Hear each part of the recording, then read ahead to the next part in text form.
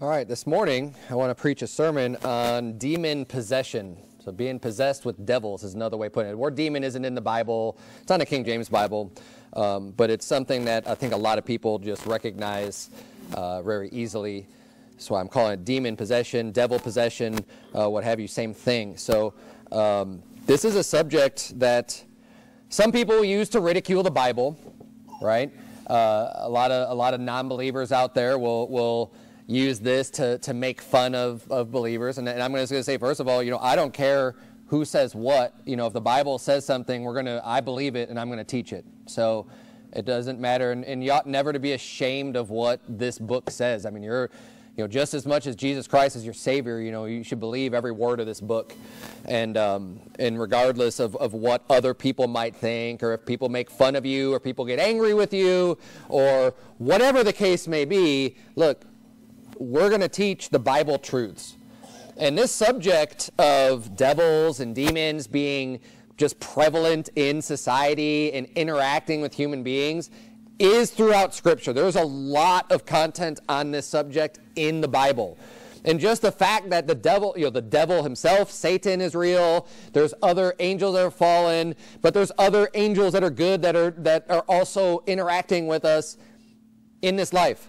So these things are real. There's a spiritual realm or world, however you want to describe that, that exists, that is real. And the Bible talks all about that. Okay, and, and one of the reasons I want to cover this is because unfortunately, a lot of people buy into, see, the world, just in general, I say the world, it's the world without God, it's the world without the Bible, right? They see problems and they'll see things and they'll see problems with people and they want to try to identify every little thing and think everything can be solved physically. But the problem is that if you have a spiritual problem, a spiritual problem is not solved physically. Spiritual problems are solved spiritually. So if you have someone who is possessed of a devil, because I do believe that this happens today just as much as it ever has, there's nowhere in Scripture that would identify or, or signify that it only occurred during the time of Jesus, and then they cast out the devils, and then they're just gone. Well, where did they go if they're just gone, right? When they and we see this story here. We're going to go through this very carefully, verse by verse. But what happens in this story? There's many devils entered into this guy. They get cast into a herd of swine. The swine runs into the, the ocean, into the sea, right? And the, the swine perish but where do the spirits go from there? I mean, the Bible doesn't tell us where they go, but these devils, these unclean spirits, it's not like you and me. Like we're not the same creature. So the devils, the angels, they aren't human beings. So their existence and their being is different than ours. I mean, if we were to die, we know our soul, our spirit are going to depart from our body, and we're going to be taken by the angels into heaven and those who are unsaved are going to be cast into hell. That's what happens to our being, to who we are, our spirit, our soul. That's, that's what happens. But the angels are different. The Bible teaches that the angels that are reserved in darkness, in chains unto the last day, so they're going to receive judgment. They're going to be cast into the lake of fire with Satan and everyone and all the other unbelievers and, and everything else they will face a judgment, but their judgment doesn't happen right away. They still have the liberty to, to exist in this world. So even though those devils that, that may have, you know, perished with the swine, they're just going to go somewhere else. And, and, and we'll see this as well, that the devils are capable of, of, of possessing a creature and then departing from that possession and even coming back to that possession. So uh, we're going to we're going to look to scripture, right? And, and I'm going to try not to give you my opinion on this. I know I'm kind of unloading a lot right now, but we're going to dig through. Like I said, there's a lot of content. I think we could understand uh, what the truth is about this. And one of the reasons I'm doing this and going to spend so much time in depth is because unfortunately mankind will misdiagnose problems. As I said before, they'll think it's. Uh, you know, some clinical term and try to treat it with drugs instead of dealing with the root of the problem, which is a spiritual problem. And, and it's important to understand and be able to discern the difference. Now, there are, I do believe this, there are physical problems that can appear or look like it might be a spiritual problem. Not, not everything is always crystal clear right? When you're looking at symptoms, you're looking at problems. Some things are very clear, I think, it's as easy to identify. But other things might have other causes uh, that, that look similar to uh, uh, uh possession or you know, have some, some characteristics or some traits, even though it might not be completely uh, that. So we got to another reason why it's important to look and see well what does the bible tell us about all this stuff to get as much wisdom as we can to make the discernment on being able to make a good judgment call in these areas. So let's dig into. I think this is probably the most famous passage when it comes to demon possession is this story because it's one of the longest stories and it's recorded in like three of the gospels and um, it, it's it's kind of interesting actually. Uh, let's let's start here in Mark 5. Look at verse number 1. The Bible says, "And they came over on the other side of the sea into the country of the Gadarenes.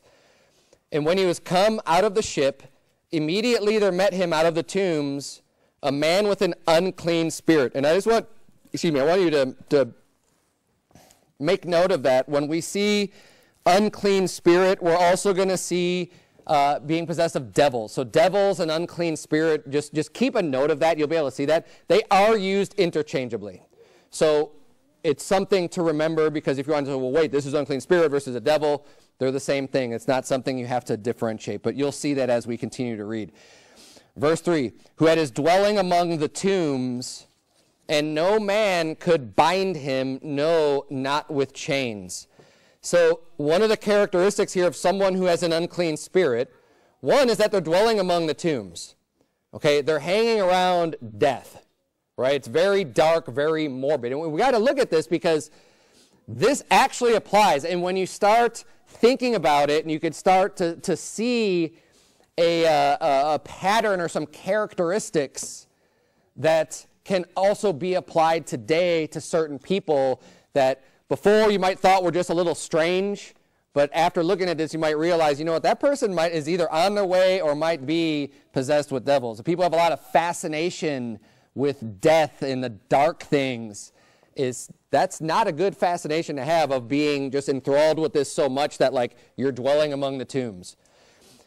There's a lot of musicians who I would say are uh, demon possessed, and a lot of their music and their inspiration comes from that. And, and, this is a rabbit trail. I wasn't intending on going into this, but just just to kind of help clarify, it, it just popped in my mind. So you may not be familiar with this band. I don't know if you're not. Thank God. But there's a band out there called Nine Inch Nails. Okay, they've been around for a real long time. It's a band I used to listen to, so I know a lot about this about this band. It's, it's mostly just like one person. It's Trent Reznor is the guy who kind of does all the music for that group.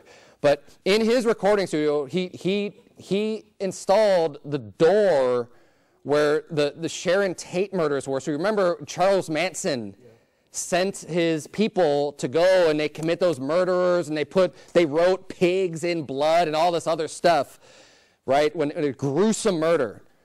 And, and one of the doors from that house he had put on in, I think it was his house, if I remember correctly. I may be incorrect. Doesn't matter where it was, but it was, it was what he was using as his recording studio. And just like had that door. And like, like that's dark, man. That's, that's messed up. That's weird. It's perverted. It's, it's twisted, right?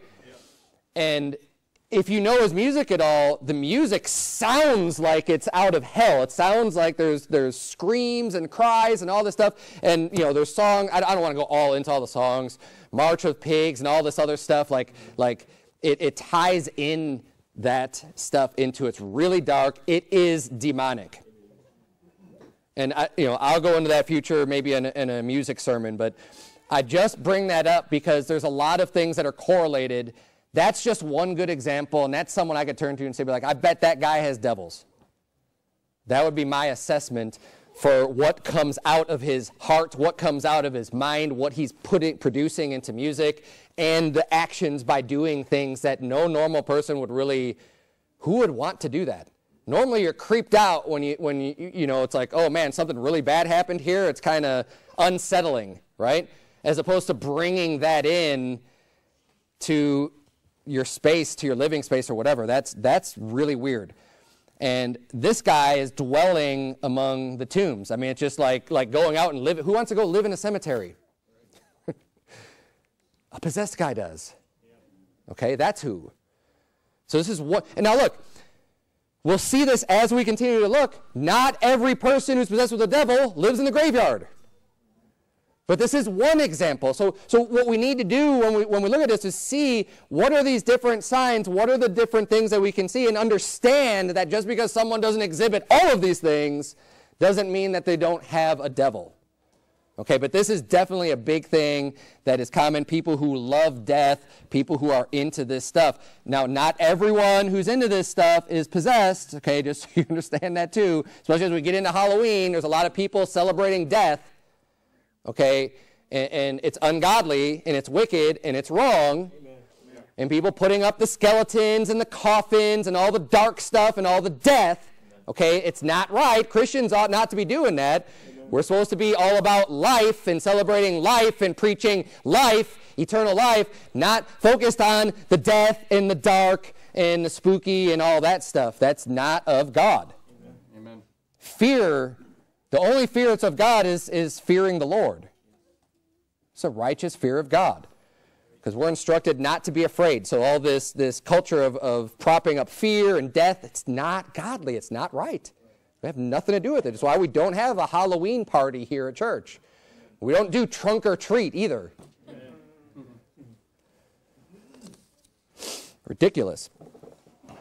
Anyhow, let's I've got a lot to get through, so let, us keep going here. Verse number three Who had his dwelling among the tombs, and no man could bind him. So he's also an unruly person, right? Someone who's not governed, someone who doesn't want anyone telling him what to do. Is, is a characteristic, but physically, even this is talking about no one could literally bind him, no, not with chains. And it says that because he had been oft bound with fetters and chains, and the chains had been plucked asunder by him, and the fetters broken in pieces, neither could any man tame him. So, wild person, untamable, unruly. Uh, uh, these chains are just broken by him, which also is, is exhibiting a little bit of a unnatural strength, too, to have chains being broken. Now, we, we, we saw unnatural strength on the positive side when it came to Samson. So when Samson was filled with the Spirit of God, right, God gave him extra superhuman strength to do things. Well, apparently God's not the only one who can allow people to have a, a, a superhuman type of a strength because here we have someone who's possessed with devils that when they bind him with chains, he's able to break them. Like, that's pretty significant. That, that the Bible's even giving us this information. He's not able, fetters, chains, nothing can hold him, nothing can tame him. And, and I'll say this too. This is also an extreme example, because as we get into this later, it's going to say he's got a legion. He's got like, like tons of of devils dwelling inside of him. This is not, you know, we, we see other possession examples of like a devil possessing someone. This is this guy is just like God. He's he's full of them, right? So this is kind of an extreme example. Verse number five, more signs though and more symptoms that we can see. And always night and day he was in the mountains and in the tombs crying. Now crying there isn't weeping. He's just kind of yelling out right? He's, he's just out there yelling, screaming, right? Probably saying all manner of weird things, whatever, and cutting himself with stones. And you know, there's people that, that one of the warning signs that someone might commit suicide is someone who cuts themselves. You probably heard that before, right? And I think that one of the reasons for that is because people who are possessed with devils often will kill themselves because of the affliction and the, and the torture that they're dealing with with the demons is going to drive them to kill themselves. And they're not in the right mind oftentimes, and they do these things. And as we see here, this guy's possessed with devils, and he's cutting himself. So, just another thing to consider. It's the Bible, again, the Bible doesn't tell us this information for no reason at all, right? Like, if it really just had no impact, doesn't matter, then why is it even really in the story? It doesn't need to take up that space. It wouldn't need to be given to us unless there's a good, valuable reason for it. And the valuable reason is because these are all things that are indicative of someone who is possessed with devils. Verse number six, but when he saw Jesus afar off, he ran and worshiped him. Worship means he fell down on his face before him. And cried with a loud voice and said, What have I to do with thee, Jesus, thou Son of the Most High God? I adjure thee by God that thou torment me not. So here's a tormentor. Here's someone, you know, this this spirit, these evil spirits, and he's saying, "Oh no," you know, he's fallen down, saying, "Don't torment me." And he says, uh, well, I guess it's not here, but with other people say, "Don't you know? Don't torment me before the time." See, these devils know that their time is coming, and we'll see that in, in another passage. But here he's just saying, like, don't. And, and notice how he knows who Jesus is right away. Jesus didn't have to introduce himself to him he knew who Jesus was as soon as he saw him. Why? Because the devils have seen Jesus already before his birth. Because Jesus has always existed. Jesus is from everlasting and to everlasting. His existence on his earth was not his creation, it was his transition from heaven to earth. Two totally different things, right? So that that's why all the devils know him. As soon as they see him, they know, like, oh man, it's you know, like they're going to go and worship him and be like, don't torment me, don't torture me.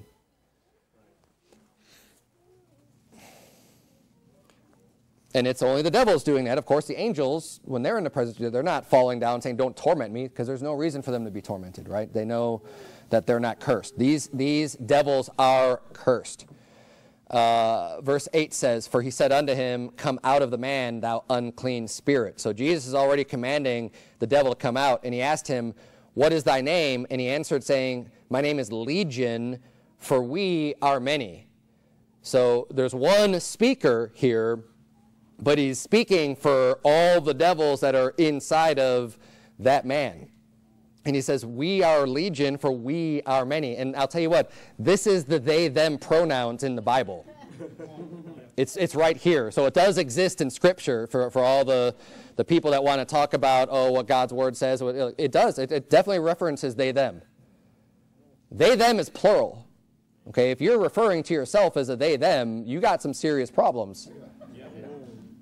I mean, serious problems. Very serious. Like, this is a serious problem.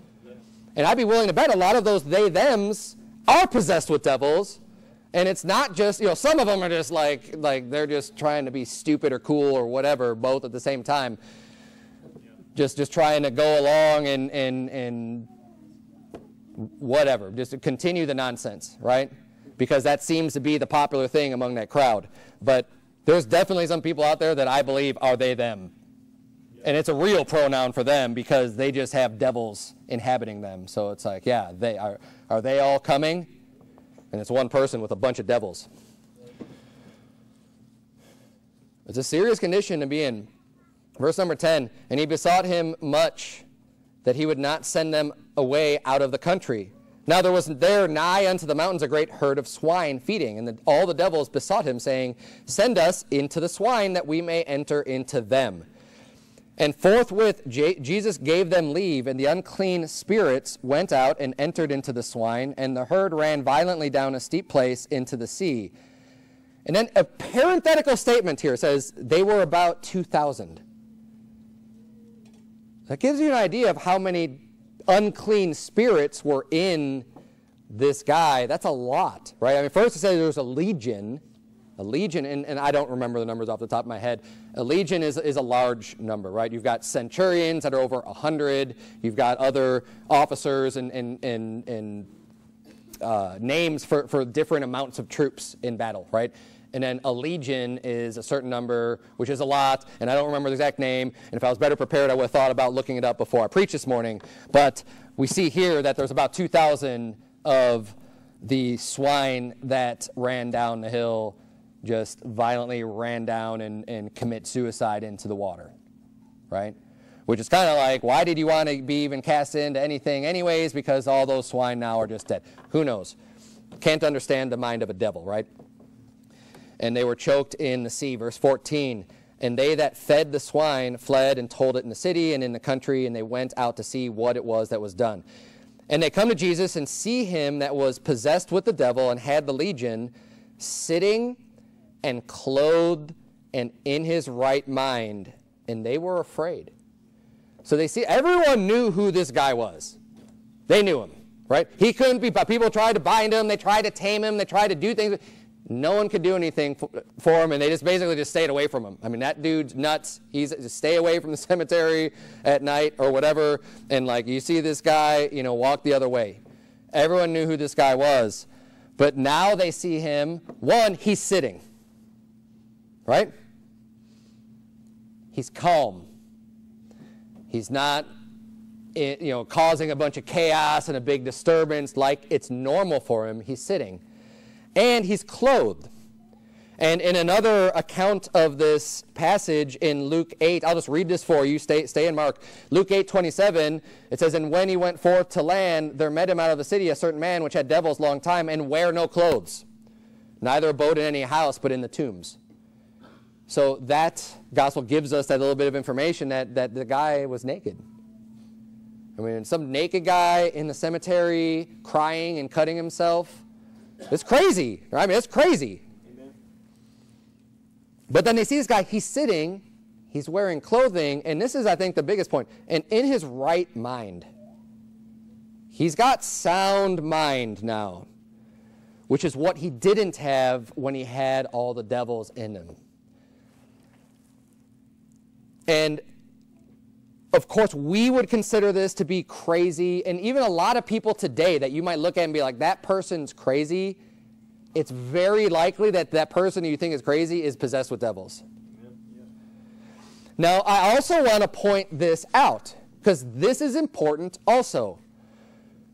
This man was delivered from those devils. We have no indication that this man was a reprobate. Okay, reprobation and being possessed with devils are two different things. Bible teaches that Mary Magdalene had seven devils cast out of her. Is there any reason to believe that she wasn't saved?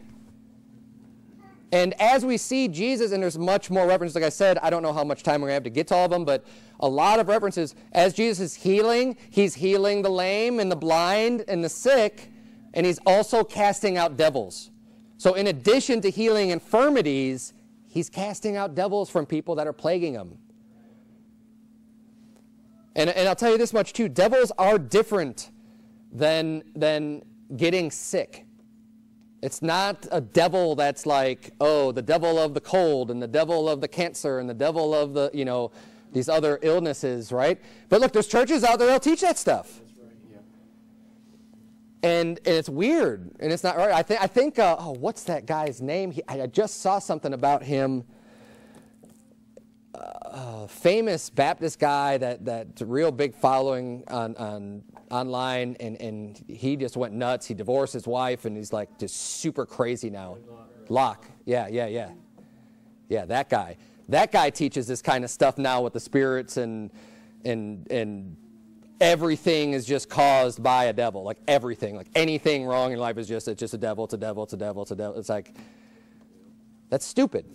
Right? We know that there's other problems that exist in this world. When Jesus went around and, and cast out devils, he didn't just cast out devils. He also healed people. There's also people who couldn't walk. There's also people who couldn't see. There's you know like like there's so many other problems that he was healing and dealing with. Not just oh well, just got rid of all the devils and now they're just perfectly fine. Stupid.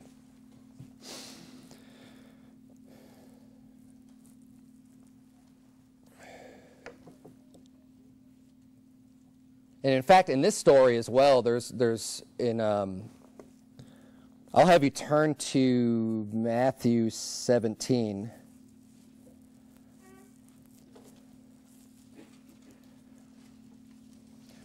And just for my point there, too, on, on, just from the book of Acts in chapter 8, this isn't even Jesus, of course, the book of Acts, so the disciples were casting out unclean spirits as well. Acts 8 7 says, For unclean spirits crying with loud voice came out of many that were possessed with them. So there's a lot of people that had that had devils, by the way. I mean, there's many people that were possessed. And many taken with palsies and that were lame were healed. So there's also people who were taken with palsies, there's also people who were lame. He took care of all of that stuff.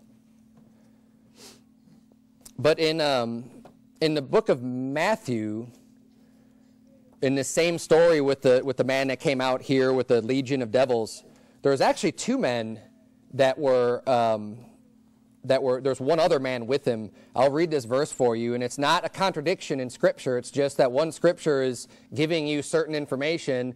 The more pertinent for that writer of the gospel, because Jesus dealt with one person primarily. So it didn't matter that there was another person there with him in the account that was given from the perspective of Mark, for example. But in Matthew, in that same story, verse 28 of chapter 8, it says, And when he was come to the other side into the country of the Gadarenes, there met him two possessed with devils, coming out of the tombs, exceeding fierce, so that no man might pass by that way. So the other little bit of information we get is that these guys are also contrary to other people. They're not just you know, like anyone that wants to come by that way, it says they were fierce. So it means they're going to be angry and trying to start fights with people and trying to come by that way and be like, you're not coming over here. Right? Like, like really aggressive type of, of people there. And behold, they cried out, saying, What have we to do with thee, Jesus, thou Son of God? And then the rest of that story doesn't really bring up the other person, but um, there were more than one person there with him. And then. Um, yeah, Matthew 17. We're going to see here that the evil spirits are capable of inflicting a lot of harm to people. Like they can they they can harm you, right? This isn't I mean it's a spiritual thing, but the spiritual affects the physical especially for someone who's possessed with a devil. Like it's it's not just uh, uh, something that you you know you can't experience or feel. There's absolutely a lot of feel there. And in fact, I'm just going to read for you from Acts 10:38. The Bible says uh, how God anointed Jesus of Nazareth with the Holy Ghost and with power, who went about doing good and healing all that were oppressed of the devil, for God was with him. The devil brings oppression, and the devils bring oppression. And people possessed with devils are definitely oppressed. Okay, they are being oppressed actively people who are possessed of devils. And it might be kind of scary and it might be something that you don't have anything to do with. But like I said before, remember that there's people, just because they're possessed with devils, it doesn't mean they're unable to get saved. Now, there, I'm sure there are also people out there who are already reprobated that also have devils, right? But you don't want to make the assumption that, uh, oh, because they have a devil, then they're just automatically reprobate. They can't be saved. There's no hope for them, right? Don't have that mindset because they, they, they're being oppressed and, you know, you don't, you don't necessarily know that, that they're, uh, they're beyond hope of redemption.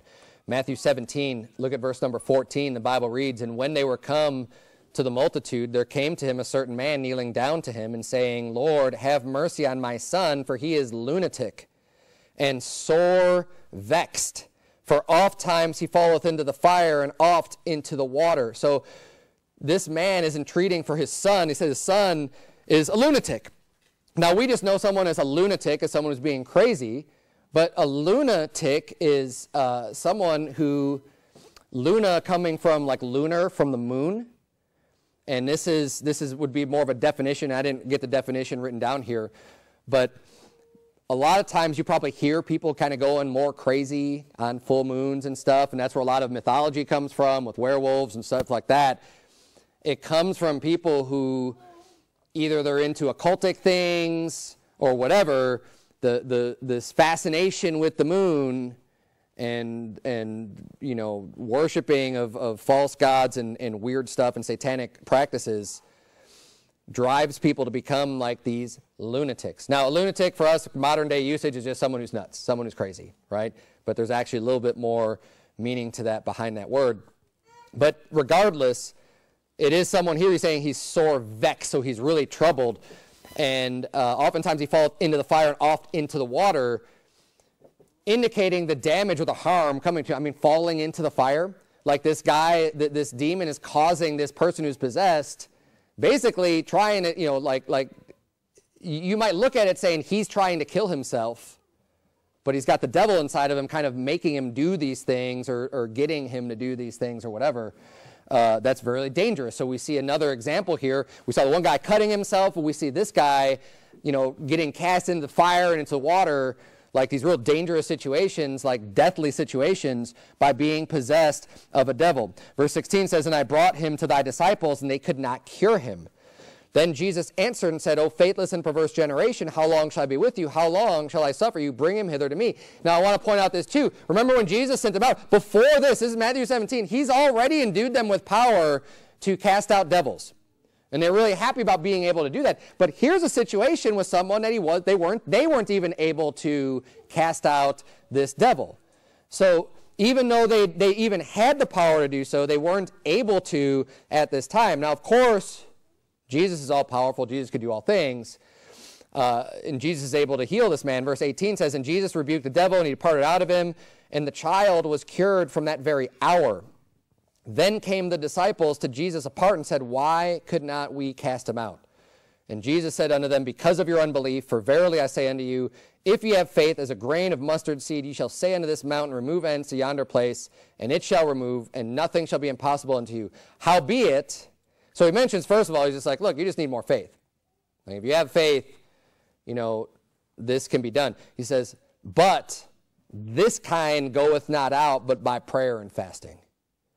So he brings up prayer and fasting. And if you, if you want to learn more about that, come back tonight because I'm going to be teaching about fasting this evening. So um, we'll see the power that you can, that comes from prayer and fasting. And he's saying, you know, this devil needed some prayer and fasting, which what does that tell you about Jesus? Jesus has already been practicing prayer and fasting up even up to that point, right? Like he's he's already involved with that. So whereas we might specifically uh, call a fast. Jesus was kind of ready in that situation to be able to deal with that. But, anyways, I'll go more into fasting tonight. Turn, if you would, to uh, Luke chapter 9. Luke chapter 9.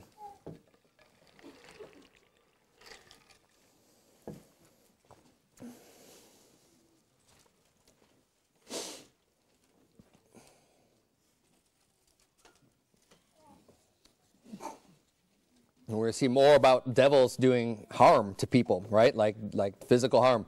Verse number 38, the Bible says there in Luke chapter 9, And behold, a man of the company cried out, saying, Master, I beseech thee, look upon my son, for he is mine only child.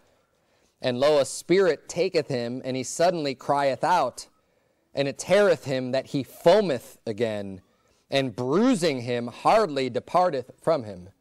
So there's some foaming at the mouth going on.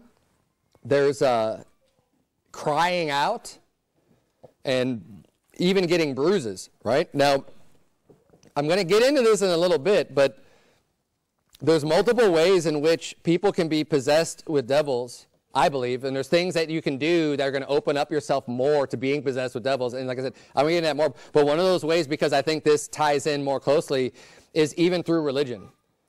So there's religion where people do a lot of, of weird practices, right? False God worship, and they'll get into these trance like states, and they oftentimes will use music and they'll use sometimes drugs, depending on the religion, right? And they'll use these different things to invoke this spiritual world, and then they start doing things outside of their control, and even to the point of foaming at the mouth and crying out and doing these things. Now, it doesn't ever say what's being said from these devils in these stories here.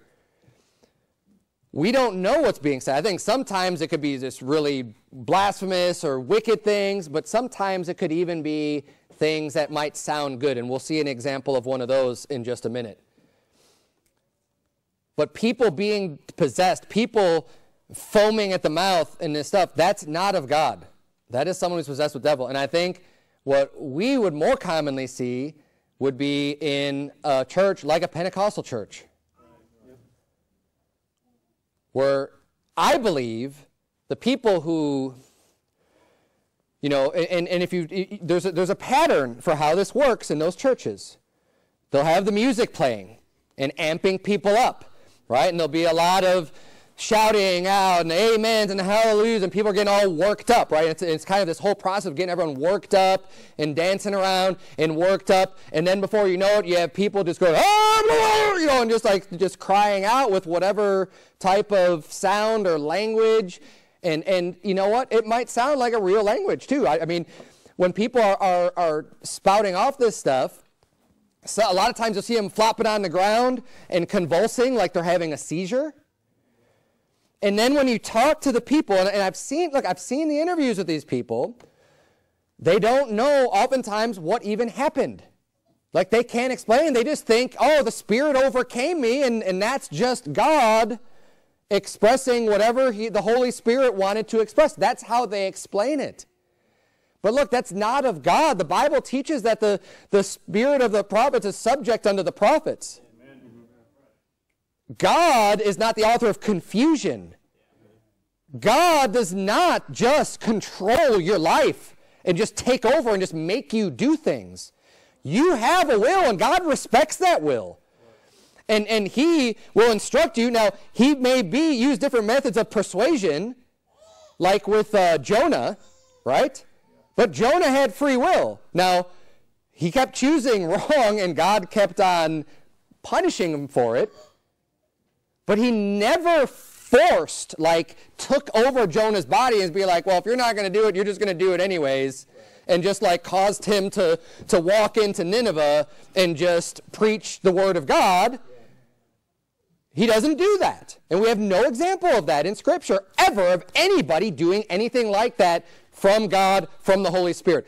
Everyone always has the choice to do. But when it comes to demon possession, devil possession, people don't have a choice. That devil's controlling, possessing that person and controlling them. And plaguing and vexing them. And, and, you know, hey, they might think it's, oh, this is all great, this is all of God, but it's not similar to other people saying, "Oh, that's a psychological problem or some mental," you know, like like no, it's a spiritual problem. There's misidentification going on. So here we see the foaming at the mouth, bruising him. Verse 40, and I besought thy disciples to cast him out, and they could not. And Jesus answering said, O faithless and perverse generation, how long shall I be with you and suffer you? Bring thy son hither. And as he was yet a coming, the devil threw him down and tear him. So I mean, the guy just like just like threw him down and just kind of like ripped out of him. Jesus rebuked the unclean spirit and healed the child and delivered him again to his father. So it's another account of that same story. Now turn, if you would, to Acts chapter 16. Acts chapter 16, I want to show you that the spirits, first of all, they know things. They know things because they've been around for a really long time. And people who get into occult practices, really wicked stuff, they may be able to receive some type of information or some type of knowledge or some things that you would consider to be, hey, how could anyone possibly know that? Well, a normal person might not be able to know that, but a devil could. A devil has knowledge and access to information because they've been around for a really long time, because they're in the spiritual world. And if they start communicating with people, right? They, they, then you can look at that person and be like, wow, this person's really special or whatever. And not every devil, we're going to see this here, not everyone is going to act the same way towards the person they're possessing. And this is a perfect example of this. Acts 16, look at verse number 16. Bible says, And it came to pass as we went to prayer, a certain damsel, possessed with a spirit of divination, met us. Now, Divination is not a good thing when people are going to the diviners, and we're going to see that in the law of God in just a minute. The spirit and being possessed is also not, no one is ever, ever, a believer is never possessed of the Holy Ghost. We're indwelled or filled with the Holy Ghost, but no one's ever possessed. That word possessed is always a negative term. Someone's being possessed, it means you're being controlled. Okay, possessed with the spirit of divination met us, which brought her masters much gain by soothsaying. Again, soothsayers, not a good thing, right? Read the Old Testament. Bad. Not good. You don't want to go to the soothsayer. But people come to this woman like they would go to a psychic, like they would go to a tarot card reader to get information, to learn, you know, to, to know more about whatever it is they want to know. And this person is possessed with the spirit of divination. So she's possessed with a devil. And this devil is, is giving out whatever information it gives out. Whether it's true or not doesn't even matter. It's just giving out It's, it's able, it's possessing this person and doing as it pleases with her.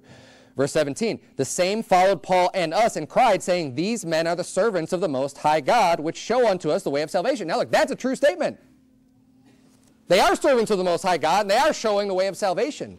But she's just going before them, and, oh, these are the, you know, and, and we see what happens here. Now, we don't see this woman getting torn or cutting herself or doing any of those other things, right? But she's just having this soothsaying going on. And in verse 18 it says, And this did she many days, but Paul, being grieved, turned and said to the Spirit, I command thee in the name of Jesus Christ to come out of her. And he came out the same hour. So she lost that spirit of divination that was possessing her and was driven out of her. And he cast her out. Now, she didn't experience all of the same things that the other stories showed, but she was still possessed with a devil. And this is why it's important not to get involved in the witchcraft and in the magic. God told us, you don't have to understand every aspect about it. He just says, don't do it. And he says, thou shalt not suffer a witch to live in his law in the Old Testament. And he tells us, you know, all these. let's just go there real quick because uh, go to Deuteronomy chapter 18. Deuteronomy chapter 18. I just want to want to spell this out here and, and show it in the law.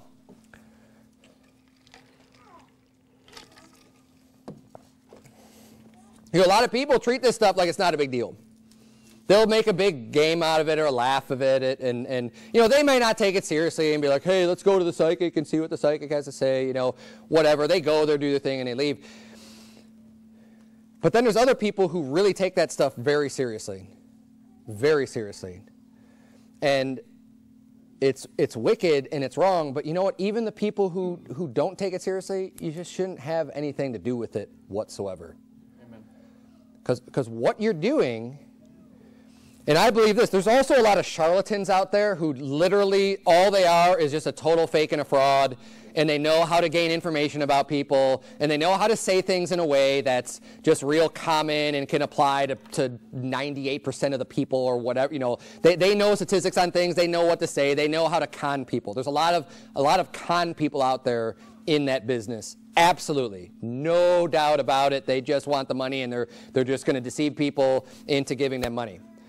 But there are people in that business that are dealing with the things, with the dark things, with the, the spirits, with the devils, that is real. And I believe that 100%. Otherwise, why would there be so much of a, of a you know, warning against this? Look at Deuteronomy 18, verse number 10. The Bible says, There shall not be found among you anyone that maketh his son or his daughter to pass through the fire, or that useth divination. And remember, that lady was divining or an observer of times, or an enchanter, or a witch, or a charmer, or a consulter with familiar spirits. And that's something you'll see oftentimes throughout the Old Testament as well someone who consults with familiar spirits. That's who Paul, Saul went to see when God wasn't speaking to him. He went to the witch at Endor and was looking for uh, some advice. He wanted her to call up Samuel and all, you know, and he's dealing with someone who consulted with familiar spirits. Familiar spirits are a real thing. They're devils, okay? And are people that consult with the devils, that communicate and commune and have seances or whatever and all this wicked stuff. Look, don't have anything to do with that. God says that none of that's allowed in the land and should be gone. He says, or a wizard or necromancer, right? All of this stuff have nothing to do with it. That, I mean, getting around those people and bringing that stuff in, I think that's one way that you're going to introduce devils into your life. And I know someone personally that's had that experience of being able to see things because there was another person in their life that was really involved in this stuff. And that's uh, just inviting, opening up the door and saying, hey, devils, come on in messing around with the Ouija boards and stuff like that. Say, oh, it's Parker Brothers. Oh, it's just a game or whatever. Like, look, don't mess with that stuff. Amen. Don't mess with that stuff. I mean, this is serious. You get, you get afflicted and tormented by a devil, man. You don't want that. You don't want that. Because, you know, back in the day, when there was these signs where Jesus empowered his disciples to be able to heal and be able to do this stuff with these, with these signs and wonders, those things aren't around today. Now, I'm not saying God's not possible to heal. I'm not saying God's not possible to cast out devils. I'm not saying God's not possible to do any of those things specifically. But you don't have people endued with that power just from on high to just go out and do all this stuff like the disciples were back in the day. And that's kind of another sermon going into why that is. Okay, but God's word being confirmed going forward with the preaching of the gospel of Jesus Christ after the resurrection of Christ God wanted that confirmation of the truth going forward, which is why he did that. So that's the short answer. But um, people can be delivered still today, but you, you don't want to be messing around with that because you, you find yourself in a now. And don't worry, we're getting into a uh, into an area where I don't believe it's possible for believers to be possessed of devils. Okay, but we're getting to that. Turn, if you would, to Matthew chapter 12. But you still don't mess with these things. You have nothing to do with them.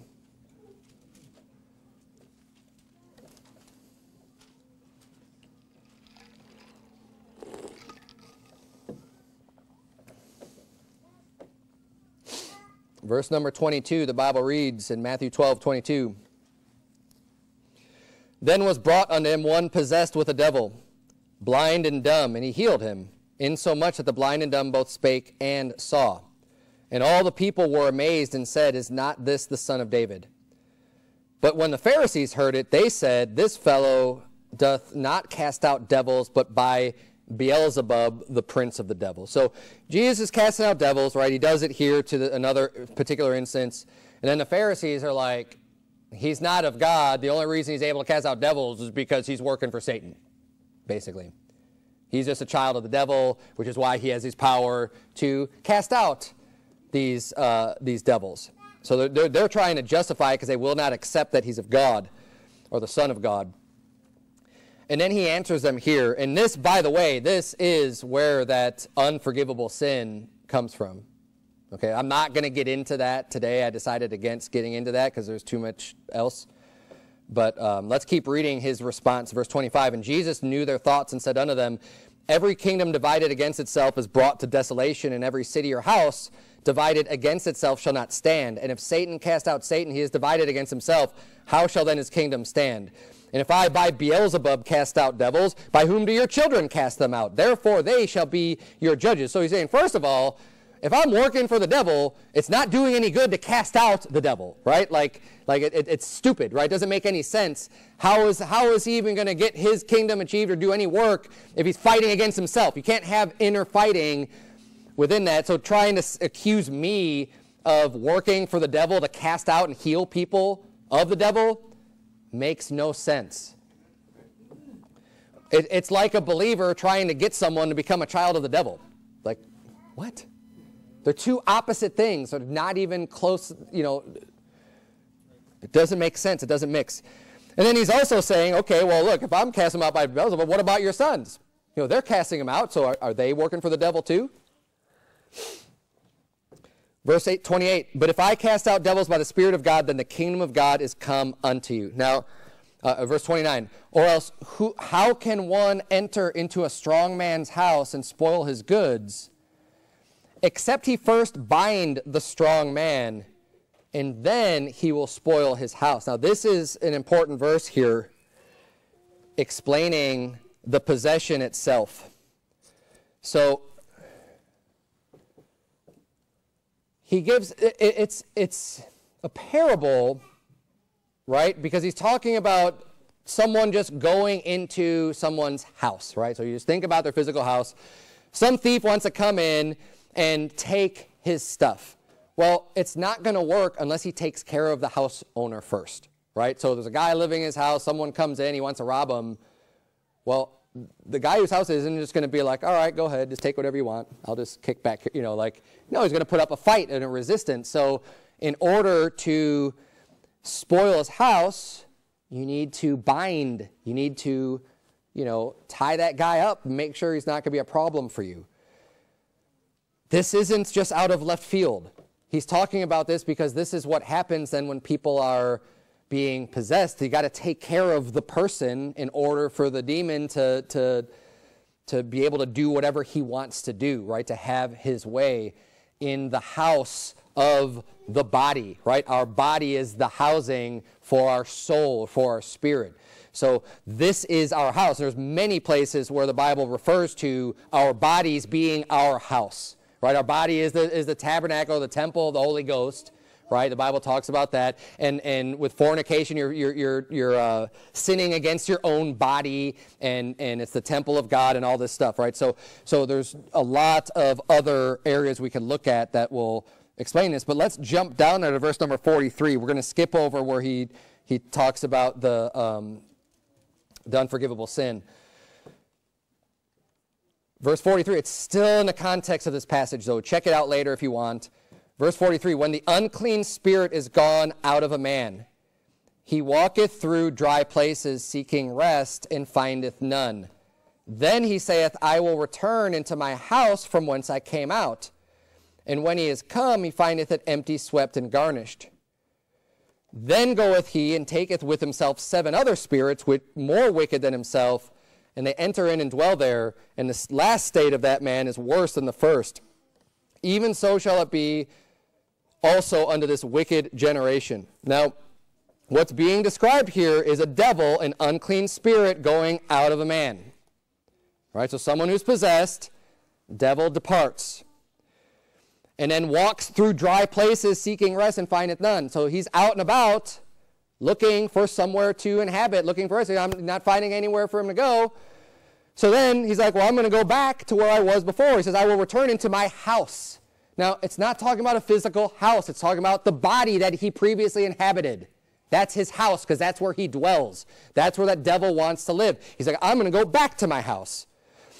And, and it says, uh, from whence I came out. And when he has come, he findeth it empty. There's nothing there. Swept and garnished, right? It's all, it's all cleaned up, ready to go because the devil's gone, but it's empty. And this is the big problem, okay?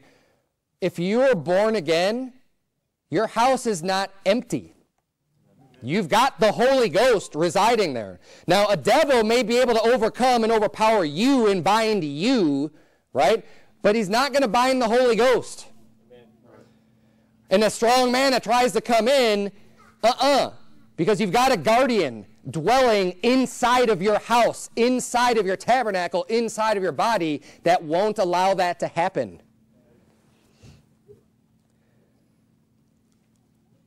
But if the spirit departs from someone, they start to feel better. Oh man, things are going great for me. I'm on the right track, but they're not saved. They don't got the Holy Spirit. And oftentimes you see some people can, can clean up their life and, and maybe a devil departs, but then they, they don't end up getting saved. And then that devil comes back. And then when that devil comes back, it says here, well, now he's taken seven other spirits more wicked than himself, and they entered. So now you've got eight devils residing inside of this guy, which is way worse than having one.